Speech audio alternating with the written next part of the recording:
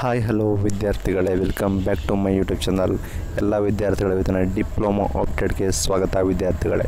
ನಿಮಗೆ ಎರಡು ಸಾವಿರದ ಇಪ್ಪತ್ತೊಂದು, ಇಪ್ಪತ್ತೆರಡನೇ ಸಾಲಿನ ಶೈಕ್ಷಣಿಕ ಡಿಪ್ಲೊಮಾ ಆರ್ಡ್ ಮತ್ತು ಇವೆಂತ್ ಸೆಮಿಸ್ಟರ್ದು ಟೈಮ್ ಟೇಬಲ್ ಮತ್ತು ಡೇಟು ಫುಲ್ಲು ಅಕಾಡೆಮಿಕ್ ಇಯರು ಮತ್ತು ಎಕ್ಸಾಮಿನೇಷನ್ ಯಾವಾಗ ಮಾಡ್ತಾರೆ ಅಂತೇಳಿ ಫುಲ್ ಡೇಟ್ಸ್ ಬಿಟ್ಟು ಡಿಪ್ಲೊಮಾ ವಿದ್ಯಾರ್ಥಿಗಳಿಗೆ ಕೊಟ್ಟಿದ್ದಾರೆ. ಅದ್ರ ಬಗ್ಗೆ ತಿಳಿಸ್ಕೊಡ್ತೀನಿ. ಯಾವ ಚಾನಲ್ ಸಬ್ಸ್ಕ್ರೈಬ್ ಸಬ್ಸ್ಕ್ರೈಬ್ ಆಗಿ ವಿಡಿಯೋ ಇಷ್ಟ ಅಂದ್ರೆ ಲೈಕ್ನ ಮಾಡಿ. ನೀವು ಬಂದ್ಬಿಟ್ಟು ಒಂದು ಫಸ್ಟ್ ಸೆಮಿಸ್ಟರ್ ಬಂದ್ಬಿಟ್ಟು ಇದೇ ಜನವರಿ ಒಂದನೇ ತಾರೀಕಿಂದ ಶುರು ಆಗುತ್ತೆ. ಎಂಡ್ ಬಂದ್ಬಿಟ್ಟು ಹದಿನಾಲ್ಕು, ಮೂರು ಸಾವಿರದ ಇಪ್ಪತ್ತೆರಡು ಇದೆ, ಮಾರ್ಚ್ ಹದಿನಾಲ್ಕು ನಿಮಗೆ ವರ್ಕಿಂಗ್ ಡೇಸ್ ಬಂದ್ಬಿಟ್ಟು ಎಂಡ್ ಆಗುತ್ತೆ. ಅಂದರೆ ಮೂರು ಮತ್ತು ಐದನೇ ಸೆಮಿಸ್ಟರ್ ವಿದ್ಯಾರ್ಥಿಗಳೇ ಇಪ್ಪತ್ತೊಂದು ನವಂಬರ್ ಇಪ್ಪತ್ತೊಂದು ಆಲ್ರೆಡಿ ಶುರು ಆಗಿದೆ, ಅವ್ರಿಗೆ ಕೂಡ ಮಾರ್ಚ್ ಹದಿನಾಲ್ಕು ಕೂಡ ಎಂಡ್ ಡೇಟ್ ಆಗುತ್ತೆ.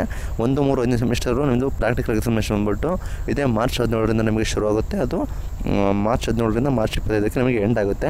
ಒಂದು, ಮೂರು ಐದನೇ ಸೆಮಿಸ್ಟರ್ ಬಂದ್ಬಿಟ್ಟು ಥಿಯರಿ ಪರೀಕ್ಷೆಗಳು ಬಂದುಬಿಟ್ಟು ಮಾರ್ಚ್ ಇಪ್ಪತ್ತೆಂಟರಿಂದ ಏಪ್ರಿಲ್ ಇಪ್ಪತ್ತು ಕೊನೆಯ ದಿನಾಂಕ ಆಗುತ್ತೆ. ಏಪ್ರಿಲ್ ಇಪ್ಪತ್ತರೆಗೂ ನಮಗೆ ಎಕ್ಸಾಮಿನೇಷನ್ ನಡೀತದೆ.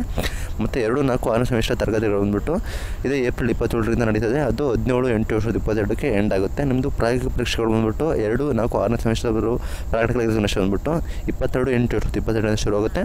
ಅದು ಬಂದ್ಬಿಟ್ಟು ಇಪ್ಪತ್ತೊಂಬತ್ತು, ಎಂಟು ಎರಡು ಸಾವಿರದ ಇಪ್ಪತ್ತೆರಡರಿಗೆ ಆಗುತ್ತೆ ಅಂತೇಳಿ ಮೆನ್ಷನ್ ಮಾಡಿದ್ದಾರೆ. ಮತ್ತು theory examination for two four six semester ಬಂದುಬಿಟ್ಟು ಒಂದು ಎಂಬ, ಒಂಬತ್ತು ವರ್ಷದ ಸಾವಿರದ ಇಪ್ಪತ್ತೆರಡರಿಂದ ಶುರು ಆಗುತ್ತೆ. ಅದು ಬಂದ್ಬಿಟ್ಟು ಇಪ್ಪತ್ತೆರಡು, ಒಂಬತ್ತು ವರ್ಷದ ಇಪ್ಪತ್ತೆರಡಕ್ಕೆ ಎಂಡ್ ಆಗುತ್ತೆ. ಇದು ಬಂದ್ಬಿಟ್ಟು ತಾತ್ಕಾಲಿಕ ವೇಳಾಪಟ್ಟಿ. ಎರಡು ಸಾವಿರದ ಇಪ್ಪತ್ತೊಂದು ಇಪ್ಪತ್ತೆರಡನೇ ಸರಿನ ತಾತ್ಕಾಲಿಕ ಶೈಕ್ಷಣಿಕ ವೇಳಾಪಟ್ಟಿಯು ತುರ್ತುಗತ್ಯ ನೈಸರ್ಗಿಕ ಪರಿಸ್ಥಿತಿಗೆ ಅನುಗುಣವಾಗಿ ಅಲ್ಪ ಬದಲಾವಣೆ ಒಳಪಡಿರ್ತದೆ ಅಂದರೆ ಆ್ಯಸ್ ಯೂಸಲ್ ನೆಕ್ಸ್ಟ್ ಸಿಚುವೇಷನ್ ಮೇಲೆ ಡಿಪೆಂಡ್ ಆಗಿರುತ್ತೆ. ಇದು ಬಂದ್ಬಿಟ್ಟು ಪ್ರೆಸೆಂಟಾಗಿ ಡಿ ಟಿ ಬೋರ್ಡ್ ಅವರು ಅನೌನ್ಸ್ಮೆಂಟ್ ಮಾಡಿದ್ದಾರೆ. ಇದು ಇವತ್ತಿನ updates thank you for watching ವಿದ್ಯಾರ್ಥಿಗಳೇ.